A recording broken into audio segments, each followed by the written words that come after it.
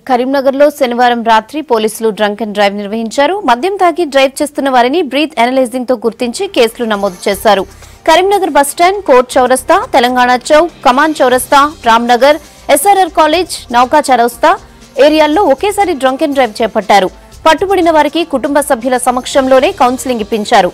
Drunk and డ్రైవ్లో పట్టుబడితే జైలుకు వెళ్ళడం ఖాయమన్నారు సిపి కమలాసన్ రెడ్డి.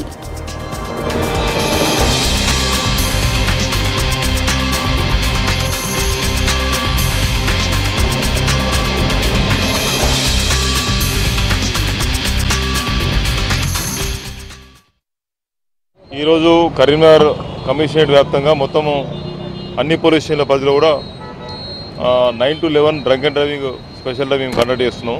ఈ స్పెషల్ డ్రైవ్లో కొంతమంది తాగిన వాళ్ళు పట్టుబడ్డారు. వీరందరూ కూడా సోమవారం నాడు ఉదయం పది గంటలకు వాళ్ళ ఫ్యామిలీ మెంబర్స్ పిలిచి కౌన్సిలింగ్ చేయడం జరుగుతుంది.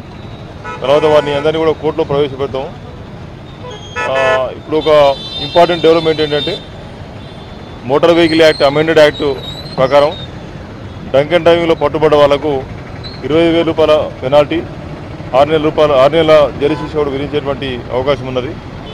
కాబట్టి డ్రంక్ అండ్ డ్రైవింగ్లో పట్టుబడ్డ వాళ్ళ మీద ఇంకా రానున్న రోజుల్లో కఠినమైనటువంటి చర్యలు తీసుకోబోతున్నాం.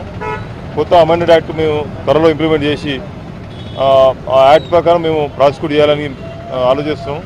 ఇప్పుడు తాగిన వాళ్ళు దాదాపుగా వెహికల్ నడపొద్దు వెహికల్ నడిపితే పట్టుబడతామని చెప్పి అనేది ఒక అవేర్నెస్ వచ్చింది కాబట్టి చాలామంది ఒక పార్టీ సెలబ్రేట్ చేసుకున్నప్పుడు వాళ్ళు ఏం చేస్తున్నారంటే ఎవరైనా ఎవరిని అందులో తాగని వ్యక్తిని డ్రైవింగ్కు వాళ్ళు ఎంగేజ్ చేసుకుంటున్నారు.